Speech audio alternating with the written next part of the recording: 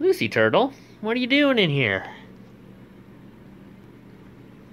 Hanging out on your wall? That's cool. Hi everybody, it's Brandon. Just got all my tanks cleaned up, uh, pulled a lot of water out of all of them, refilled them all, cleaned the filters, and just kind of sitting down and enjoying looking at them. I really do love this tank, and it's very pretty. But she's in her default little hiding spot where she she just loves to hang out.